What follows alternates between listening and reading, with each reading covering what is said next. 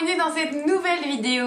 Aujourd'hui j'ai décidé de partager mon expérience et de vous raconter pourquoi j'ai décidé de quitter Etsy et de fermer ma boutique Etsy. Donc avant de vous raconter un petit peu mon expérience et pourquoi du coup j'ai euh, quitté la boutique, je vais vous raconter un petit peu ce que c'est que cette plateforme, vous expliquer aussi de mon regard d'expert en marketing, voilà un petit peu comment ça se passe et quels sont les avantages et inconvénients de cette plateforme. Vous vous ferez comme ça votre propre idée, vous aurez aussi mon retour d'expérience puisque je suis créatrice de bijoux et j'ai eu mes bijoux sur Etsy pendant près d'un an. Euh, j'ai eu aussi un coaching avec une personne d'Etsy donc je sais exactement comment fonctionne la plateforme et quels sont un petit peu les rouages et comment c'est fait un petit peu tout ça à l'intérieur, les petits secrets d'Etsy. Donc je vais vous raconter un petit peu tout ça et comme ça vous saurez un petit peu ce qu'il en est par rapport à cette plateforme Etsy, cette marketplace.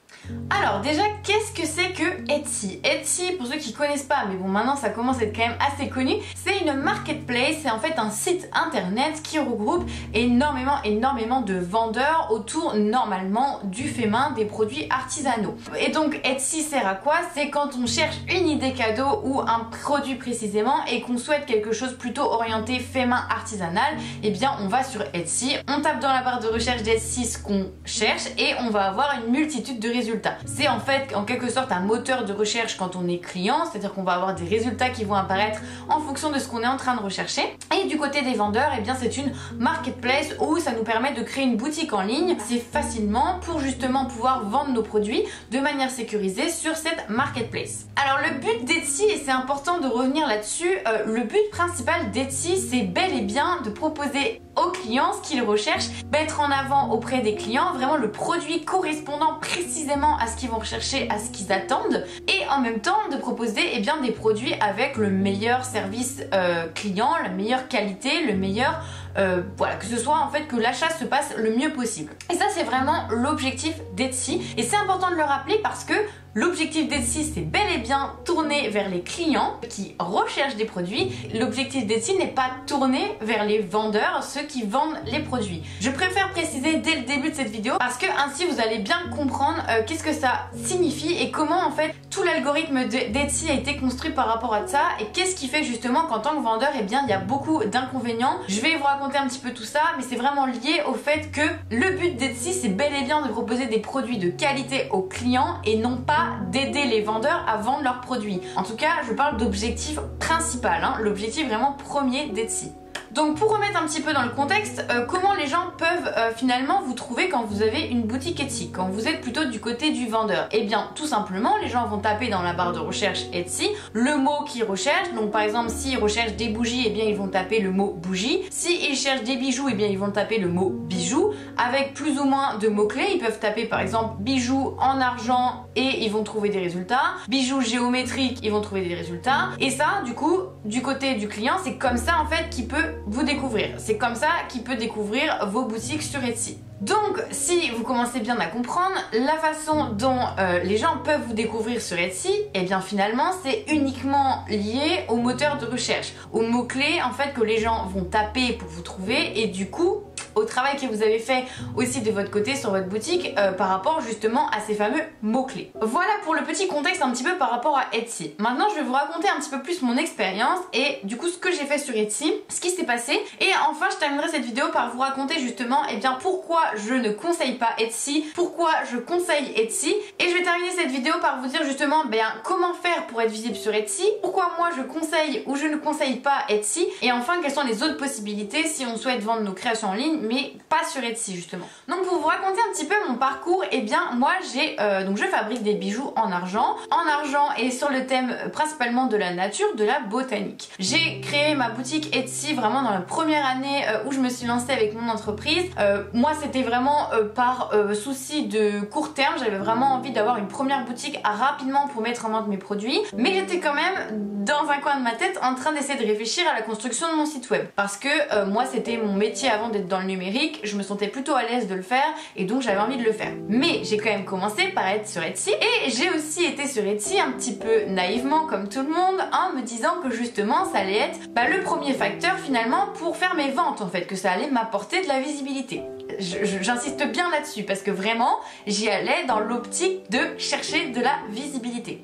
Et donc eh bien j'ai créé ma boutique Etsy et eh bien j'ai dû attendre plusieurs mois avant d'avoir une première vente. Pourtant j'avais effectivement mis en ligne tous mes produits, j'en avais à l'époque pas mal déjà pour commencer, c'était une collection un petit peu euh, spéciale d'ailleurs si ça vous intéresse de voir un petit peu quelle a été mon évolution artistique euh, du côté des bijoux, je vous mettrai la vidéo en lien en haut. Et donc j'avais une première collection avec euh, des, des choix de modèles, des choix de couleurs, j'avais des boucles d'oreilles, j'avais des bagues, j'avais des colliers, bref j'avais énormément de choix. J'avais une vingtaine au moins de produits. Alors bien sûr au tout début euh, j'en avais une dizaine parce que j'avais commencé avec des grosses boucles d'oreilles et petit à petit je suis venue ajouter les autres bijoux euh, dans cette collection et donc dans ma boutique Etsy. Et donc sur Etsy, eh bien en un an j'ai dû faire à tout casser 3 ou 4 ventes. Euh, alors je parle de 3 ou 4 ventes qui viennent d'Etsy vraiment et après comme c'était le seul endroit au début où on pouvait me trouver, et eh bien bien sûr il y avait mes proches qui venaient m'acheter mes bijoux sur Etsy puisque bah, c'était des gens que je connaissais mais c'était le seul endroit en fait où je leur permettais d'acheter mes créations.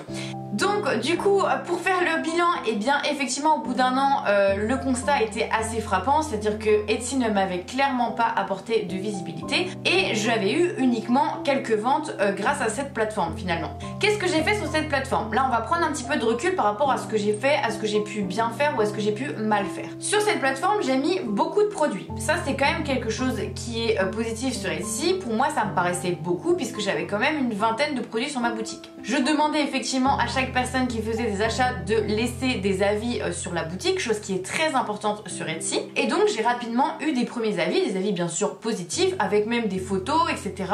Vraiment des avis euh, de qualité qui donnaient envie d'acheter sur ma boutique. Ma bio était très très claire, j'avais même mis une vidéo qui permettait de voir un petit peu les coulisses de la fabrication, etc. Euh, sur ma page Etsy. Je fais des choses, ok, qui sont très concurrentielles. Si on prend un petit peu de recul, je fais des bijoux. Donc oui, on est sur un marché énorme, on est sur un marché qui est très concurrentiel et il y a énormément de bijoux disponibles sur Etsy. Maintenant, en bonne marketeuse que je suis, je savais très pertinemment qu'il fallait que j'aille, euh, entre guillemets, nicher mon activité. Et donc, j'ai comme j'ai choisi de faire des bijoux euh, sur le thème de la botanique, je savais que par rapport à Etsy, je pouvais faire une petite niche comme ça, euh, avec des mots-clés très précis sur justement le fait que ce soit des bijoux et eh bien, sur la nature, sur les plantes, sur les fleurs et aussi le côté éthique puisque je proposais des bijoux en argent recyclé donc j'ai bien mis en avant ce côté bijoux éthique, argent recyclé etc. Et pendant ces un an j'ai aussi eu un coaching avec une, personne salariée d'Etsy qui m'a du coup proposé de me coacher et de m'apprendre en fait à, faire les bonnes choses pour mettre en avant ma boutique Etsy. J'ai eu ce coaching qui a quand même duré, il y a eu plusieurs coups de téléphone euh, donc ça a duré plusieurs heures où elle m'a bien expliqué la personne comment fonctionnait l'algorithme, euh, comment, quelles sont les choses qu'il fallait faire pour mettre en avant mes produits etc. Pour en fait euh, bah, optimiser mes chances de conversion et de vente sur cette plateforme. Et j'ai également eu un budget de publicité qui m'a été offert, donc j'en ai profité et j'ai fait de la publicité, puisque je me suis dit, finalement, peut-être que le référencement naturel sur Etsy avec simplement mes mots-clés, etc., ça ne suffit pas, peut-être qu'il faut faire de la publicité, donc j'ai testé la publicité. Il faut savoir que j'ai eu un budget de publicité de 100 euros et je n'ai eu aucune vente grâce à ça. Alors c'est pas des, mensonges, hein, j'ai vraiment eu aucune vente grâce à la publicité. Voilà, deuxième constat. Et donc au bout d'un an à peu près, euh, j'ai décidé de quitter Etsy euh, et de me consacrer uniquement à ma boutique en ligne où j'avais créé ma boutique en ligne mais je reviendrai un petit peu plus tard là-dessus. Et donc Etsy, si on doit faire le bilan en fait des choses euh, qu'il faut faire justement pour réussir à être visible sur cette plateforme, on va dire en théorie, puisqu'il y a quand même un grand nombre de critères que j'avais cochés et qui finalement ne m'ont pas permis d'être visible sur Etsy. Alors j'ai effectivement eu des ventes, mais sur un an, euh, moins de 10 ventes sur un an, je trouve que c'est quand même, c'est pas ça qui va faire vivre mon entreprise, clairement. Donc, qu'est-ce qu'il faut faire déjà pour être visible sur Etsy? Eh bien, selon justement la salariée d'Etsy et selon le coaching, selon mes observations, il faut en fait avoir un minimum de produits pour commencer à apparaître dans les résultats de recherche. Et ce minimum de produits, il se situe autour de 50 produits. Donc, ça vous donne une petite idée du nombre de produits qu'il faut avoir dans sa boutique pour justement en fait espérer ressortir dans les résultats de recherche puisque vous allez régulièrement utiliser les mêmes mots-clés ou les mêmes ensembles de mots-clés. Je m'explique, si vous faites des bijoux, et eh bien si vous avez 50 produits, même si vous avez des boucles d'oreilles, des bagues, etc., le mot bijou va revenir quand même probablement 50 fois. Donc vous optimisez vos chances d'apparaître dans les recherches lorsqu'il y aura le mot bijou qui sera tapé. Alors bien sûr le mot bijou est très très concurrentiel tout seul et donc la stratégie pour être visible sur Etsy c'est qu'il faut utiliser un ensemble de mots-clés. On appelle ça de la longue traîne. Mais là, et là vous allez vite comprendre où est la problématique, c'est qu'on commence à rentrer finalement dans un job de euh, référencement, dans un job de Marketeur, euh, moi je connais très bien et j'étais plutôt à l'aise là-dessus. Maintenant, je sais très très bien que ce n'est pas le cas de la majorité d'entre vous et que c'est quand même quelque chose de compliqué qu'il faut appréhender. Et donc quand on est créatrice et qu'on ne connaît pas grand-chose au marketing, à la communication et plus spécifiquement au référencement, eh bien clairement on va pas y arriver. Mais je vous donne quand même les clés au cas où pour que vous compreniez bien comment fonctionne Etsy. Et donc il faut utiliser un ensemble de mots-clés. Il faut en fait aller se mettre sur des mots-clés très précis. Donc c'est-à-dire qu'au lieu de mettre bijoux, eh bien je vais mettre bijoux, nature, fleurs, argent par exemple. Je donne un exemple, hein, c'est pas forcément la bonne combinaison à faire, mais ça vous donne une idée en fait de la façon dont il faut construire ces mots-clés. Il ne faut pas uniquement mettre bijoux, mais plutôt aller plus précisément sur bijoux nature, bijoux nature en argent, bijoux en argent recyclé nature, bijoux fleurs en argent, etc. etc. Et c'est plutôt comme ça en fait qu'il faut construire à la fois ces tags, ces fiches produits, etc. et les noms de ces produits, etc. etc. Ça c'est quelque chose déjà qui est hyper important à faire. Et au-delà de construire des mots-clés, il faut les changer régulièrement. Ça, c'est quelque chose que m'a conseillé Etsy, c'est que, ok, il faut faire une fiche produit, ok, il faut travailler tes, mots-clés, etc. Mais, en plus de ça, il faut les changer régulièrement. Et si tu ne les changes pas régulièrement, eh bien, tu as des chances que ça ne fonctionne pas parce que tu vas peut-être dans l'ensemble de mots-clés que tu as choisi avoir quelques mots-clés qui ne sont pas pertinents et si tu les gardes, eh bien en fait ça va être défavorable. Donc il faut changer régulièrement de combinaison pour que en gros que l'ordinateur derrière, que l'algorithme comprenne vraiment facilement euh, ce que tu fais en fait et réussisse à te montrer auprès des personnes qui sont susceptibles d'être intéressées par ce que tu fabriques.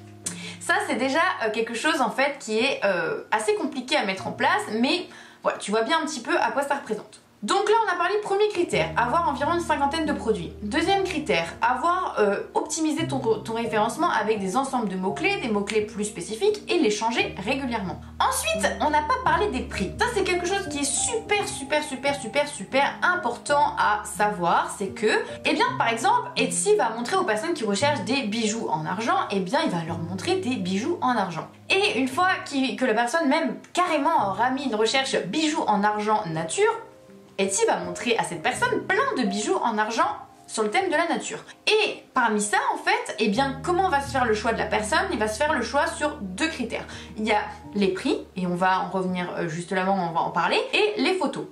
Les prix, en fait, c'est super important parce que si tu ne considères pas ta stratégie de prix pour Etsy, et je dis bien pour Etsy, pour être dans la recherche, pour faire partie des catégories, puisque euh, quand les gens recherchent des produits, ils mettent des catégories, par exemple en dessous de 50 euros, au-dessus de 50 euros, etc. Donc si tu es à 51 euros sur ton bijou, eh bien tu n'apparaîtras pas sur la catégorie en dessous de 50 euros. Tu vois bien un petit peu ce que je veux dire. Donc clairement, en fait, tes prix, il faut que tu les alignes non pas par rapport à ta rentabilité, par rapport à ce que toi tu as besoin de vendre tes produits, mais plutôt par rapport à la stratégie d'Etsy, c'est-à-dire spécifiquement pour rentrer dans les recherches des gens, dans les catégories de prix où sont tes concurrents et être concurrentiel parce que si tu ne l'es pas, c'est pas forcément facile pour toi. Mais encore une fois, ça peut être une stratégie d'être au-dessus des gens ou une autre stratégie d'être en dessous des gens. Les deux se tiennent et les deux peuvent être valables. Mais ta stratégie de prix doit être alignée par rapport à ce qui se passe sur ton marché, sur Etsy, donc par rapport à tes concurrents sur Etsy. Ça, c'est une chose sur laquelle, je voulais insister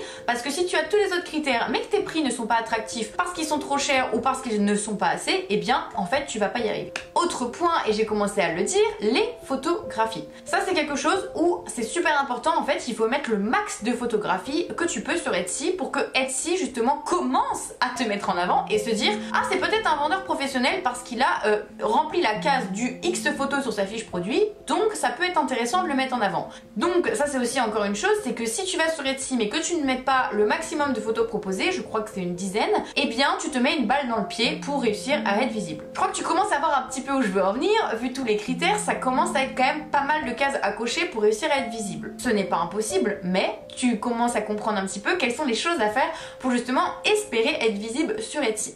Ensuite, je vais rentrer plus spécifiquement dans le détail de pourquoi je ne conseille pas d'être sur Etsy. Et je te dirai après pourquoi je te conseille d'être sur Etsy, parce qu'il peut y avoir aussi euh, deux points de vue différents. Pourquoi je ne te conseille pas d'être sur Etsy? Eh bien, il y a plusieurs raisons à ça. Etsy, en fait, c'est une marketplace, comme je te disais au tout début, qui est orientée client. Donc l'objectif de cette marketplace, c'est de mettre en avant les produits qui correspondent vraiment à la recherche de la personne. Donc, en fait, l'objectif d'Etsy n'est pas de te mettre en avant toi en tant que vendeur. Ce qui fait que tu rentres en fait dans une spirale qui peut être à la fois positive ou négative, c'est-à-dire que si tu n'as pas de vente au début, eh bien tu n'auras pas d'avis client et donc tu n'auras pas assez de critères remplis pour qu'Etsy ait envie de te mettre en avant et donc tu vas pas être mis en avant, malgré tout ce que tu auras fait aussi, parce que moi je remplissais les cases, mais comme je n'arrivais pas à faire décoller mes ventes, et eh bien finalement je n'avais pas d'avis client, donc les personnes qui me voyaient pouvaient ne pas forcément être assurées, et donc ils achetaient pas chez moi, etc. etc. Et donc Etsy ne me mettait pas en avant. Cercle un petit peu infernal. Ça c'est une problématique, et l'autre problématique, tu l'as commencé à mon avis à la comprendre, c'est que tu es parmi la concurrence. Et les gens, quand ils vont voir tes produits, ils vont pas voir les bijoux de Marion, ils vont voir les bijoux en argent qui sont en train de rechercher sur le thème précis qu'ils ont tapé dans la barre de recherche. Et tu vas être au milieu de tous tes concurrents. Comment faire sa place quand justement on n'a pas des produits très différenciants et qu'on n'a pas euh, voilà, quelque chose qui nous différencie vraiment des autres? C'est le cas des trois quarts des créatrices et c'est pour ça que les trois quarts des créatrices n'y arrivent pas. Il y a bien sûr des success stories, il y a bien sûr des gens qui ont des produits tellement spécifiques, tellement euh, beaux, tellement originaux, etc. qu'ils arrivent à être visibles et à tirer leur épingle du jeu. Mais si tu fais partie des catégories de personnes qui sont plutôt dans des produits plutôt classiques avec des designs jolis mais plutôt classiques et qui ne sont pas très très très très très très originaux, eh bien tu ne vas pas réussir à tirer ton épingle du jeu parmi la concurrence puisque les yeux des gens quand ils seront sur leur ordinateur et qui regarderont les produits qui existent sur Etsy et eh bien en fait ils vont voir une multitude de produits qui se ressemblent tous plus ou moins. Donc en gros c'est un petit peu la loterie pour espérer avoir que les gens cliquent sur ta, tes fiches produits et tes produits. Donc ça c'est vraiment la chose importante sur laquelle je voulais revenir. Pourquoi je ne conseille pas c'est parce que tu es directement baigné à la concurrence. Même les gens quand ils arrivent sur ta boutique et tes fiches produits Qu'est-ce que fait Etsy? Etsy leur propose des produits similaires. Mais des produits similaires qui peuvent être de ta boutique, mais qui peuvent aussi être des boutiques de tes concurrents directs. Donc c'est pas seulement aller proposer des, produits qui peuvent être de concurrents par exemple qui euh, peuvent faire des illustrations sur le thème de la nature, de la céramique sur le thème de la nature. Pourquoi pas j'ai envie de dire au moins mes clients ils vont être aussi intéressés par des choses qui ressemblent.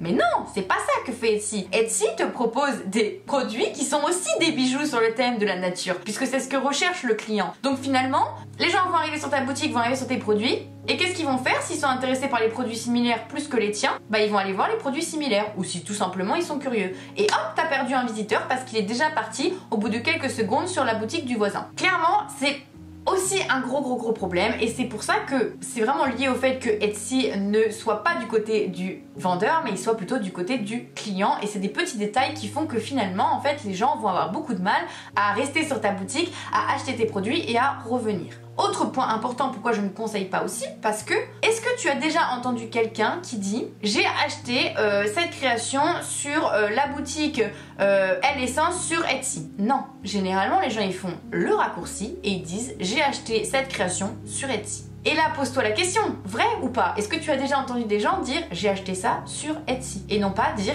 j'ai acheté ça sur la boutique avec le nom de la boutique, le nom du vendeur, le nom du créateur ou de la créatrice? Eh bien non, parce que les gens ils ne se souviennent pas du nom de la boutique. Il y en a, bien sûr, mais c'est très peu. Donc du coup, comment tu veux tirer ton épingle du jeu sur le moyen long terme? Que tu des gens sur tes réseaux sociaux, que les gens reviennent plusieurs fois, quand en fait ils ne se souviennent même pas du nom de ta boutique C'est un petit peu compliqué. Ensuite, autre chose très importante sur Etsy, les taxes. Etsy c'est quand même une marketplace qui coûte très cher. Il y a 5% sur les ventes, 5% c'est énorme, 5% sur les frais de port, et après s'ajoute une multitude de pourcentages que je ne viendrai pas détailler ici, mais il y a encore des pourcentages. En plus, c'est pas forcément facile de savoir exactement au final du final combien te coûte une vente sur Etsy finalement. En plus de ça, et chose non négligeable, tu as des charges fixes. Qu'est-ce que c'est que ces charges fixes? C'est-à-dire que si tu ne vends rien sur Etsy, ta boutique va quand même te coûter de l'argent. Chose qui n'est quand même pas négligeable parce que au fur et à mesure, petit à petit, si tu essaies de suivre les critères et que justement tu te dis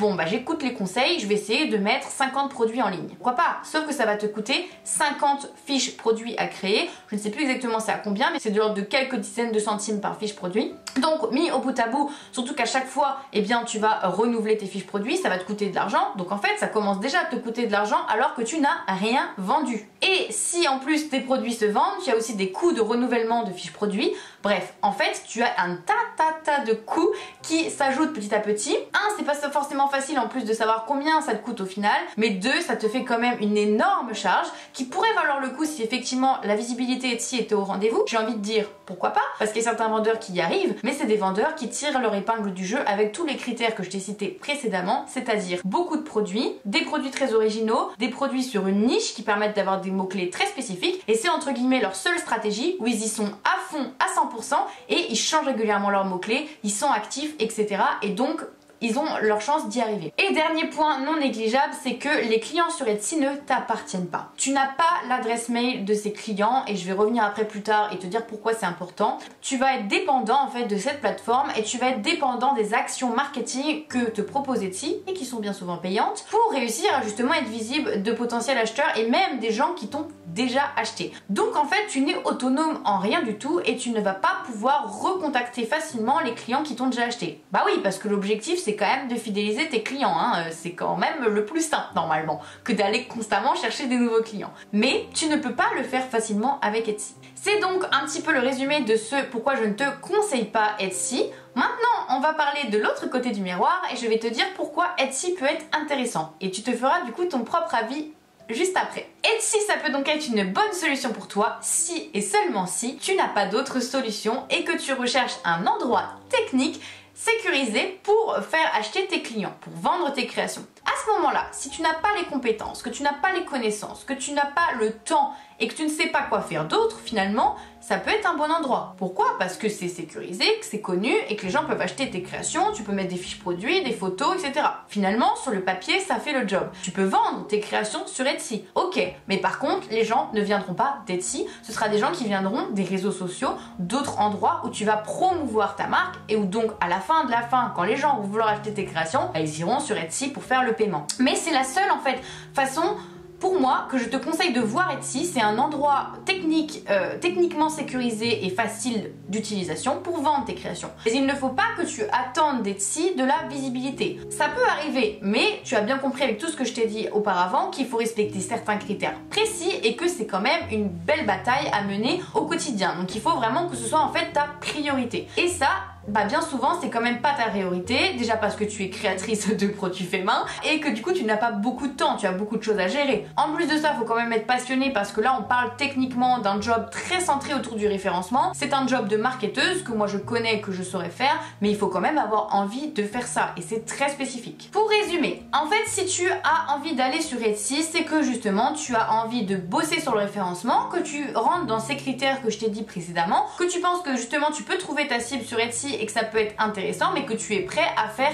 et eh bien, toutes les, à cocher toutes les cases qu'attend Etsy pour justement réussir à être visible. Par contre, tu sais très bien que tu fais une croix sur le marketing et que tu vas pas être autonome là-dessus, que tu ne vas pas récupérer les contacts mails de tes clients et donc que tu seras bah, bien sûr dépendante de la plateforme. Et là, j'entends déjà euh, que vous allez me dire, bah ouais Marion, t'es gentille, mais sauf que moi je sais pas créer un site web et en plus, eh bien, euh, le référencement sur Etsy, tu dis que c'est compliqué, mais le référencement sur Google, ça va l'être encore plus. Et c'est là où je tiens à préciser et à faire vraiment une note informative très importante. Moi, ma stratégie, ce n'est pas non plus de miser sur les référencements Google. Pourquoi? Parce que c'est encore pire qu'Etsy.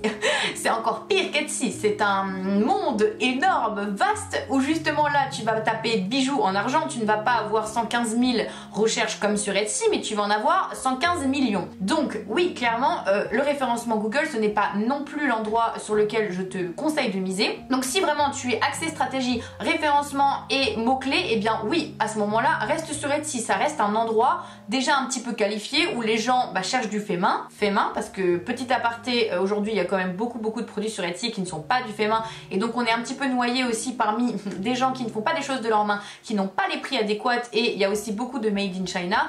Donc voilà, je te laisse petite parenthèse fermée, mais si tu veux vraiment être sûr du référencement, eh bien oui, je te conseille à ce, moment-là d'être sur Etsy plutôt que Google, parce que Google c'est peine perdue. Moi, ce que je te conseille, c'est plutôt de miser sur les réseaux sociaux, et plus particulièrement Instagram, en couplant ça avec de l'emailing, et c'est une stratégie vraiment complète que j'apprends dans mon programme de formation, l'Artisan Academy. Si ça t'intéresse, n'hésite pas à aller en dessous, en barre d'informations, il y a les informations sur euh, bah, justement cette formation, qu'est-ce qu'il y a dedans et qu'est-ce qu'on y apprend. Mais moi, j'ai vraiment une stratégie complète qui permet de partir d'Instagram et de coupler avec de l'emailing pour réussir finalement avec des outils assez simples à créer sa communauté, avoir des clients fidèles sur le long terme, avoir des clients qui t'achètent non pas uniquement pour ce que tu fabriques mais aussi pour qui tu es, pour tes valeurs et donc créer un lien avec eux et avoir quelque chose de solide sur le moyen long terme. Ça te permet aussi quand tu as ton site en dehors d'Etsy, et eh bien d'avoir beaucoup plus de marge finalement parce que tu n'as pas tous ces frais qui, sont engendrés par Etsy. Donc en fait, dès tes premières ventes, tu commences à être rentable, tu commences à faire de la rentabilité, tu commences à avoir des bénéfices. Alors que sur Etsy, avec toutes les charges, avec toute la stratégie de prix que tu dois avoir pour être compétitif, eh bien c'est très compliqué de tirer son épingle du jeu en termes de monnaie-monnaie, en termes d'argent et de réussir du coup à faire vivre ton entreprise. Donc vraiment avoir un site à côté où il n'y a pas toutes ces charges d'Etsy, ça te permet aussi ça, de faire dès le début eh bien, du bénéfice et d'avoir de la trésorerie, etc., de pouvoir réinvestir dans ton entreprise, gagner de l'argent et continuer à faire ton activité. Et euh, donc bien sûr, bah, ça te permet aussi quoi? Ça te permet d'avoir eh bien des contacts email, ça te permet de récupérer sur ton site ou en tout cas euh, sur tes réseaux sociaux des contacts email, de pouvoir recontacter les gens, euh, d'avoir une relation vraiment privilégiée avec eux, voilà, de, de créer un lien en fait, qui se passe quelque chose. Et donc ça c'est vraiment plus que je recommande, c'est d'utiliser une stratégie couplée d'un réseau social, donc moi je te conseille plutôt Instagram et de le coupler avec de l'email et d'utiliser uniquement ces deux outils, de te concentrer là-dessus plutôt que de te concentrer sur une partie plus technique qui va être le référencement sur Etsy. Et là c'est vraiment très compliqué et en tout cas, il faut aimer le faire. Finalement, la stratégie réseaux sociaux, eh bien ça te demande quoi? Alors ça te demande d'avoir quand même une stratégie, donc il faut que tu construises ta petite stratégie de communication. Alors ça c'est des choses qui, euh, voilà, que tu peux faire toute seule et sinon moi effectivement j'apprends ça dans mon programme de formation pour aller à l'essentiel. Être stratégique et quand même construire une stratégie adaptée à l'artisanat et à toi, à ta marque, à ce que tu fabriques. Donc tu construis une stratégie, tu es visible sur les réseaux sociaux de manière régulière avec justement eh bien, le partage de ton entreprise, qui tu es, ce que tu fabriques, etc. Et de cette manière tu vas naturellement attirer des clients vers toi et dès tes premiers clients, tu vas faire de l'argent parce que tu vas vendre directement sur ton site, sur une plateforme qui en tout cas ne te coûtera pas aussi cher qu'Etsy. Et donc, quelles sont les alternatives à Etsy si tu veux avoir euh, ben, un endroit pour vendre tes créations en ligne? Je vais te donner du coup le top 3 des outils dans l'ordre du plus facile au plus compliqué. L'outil le plus simple que je te recommande pour commencer, c'est la boutique en ligne de SumUp. Tu n'as pas besoin d'avoir un, moniteur de paiement SumUp, tu as simplement besoin de créer une boutique en ligne sur SumUp. C'est très très très rapide et c'est vraiment très très simple d'utilisation. Par contre ça reste un outil très très simple d'utilisation, il n'y a pas toutes les fonctionnalités qu'on peut avoir sur une boutique en ligne classique, mais ça reste un endroit qui te coûtera beaucoup moins cher qu'Etsy. Tu as 2,5% de frais de transaction, donc c'est beaucoup moins qu'Etsy et c'est uniquement si tu vends, tu n'as pas de charge fixe, donc ça ne te coûtera rien si tu ne vends rien. Par contre effectivement c'est très limité, il y a des fonctionnalités sur la vente en ligne classique qui, sont, qui n'y sont pas présentes, donc ça reste quand même un outil très très simple mais ça peut être une solution court terme pour commencer à tester, vendre tes produits, voir si ça fonctionne,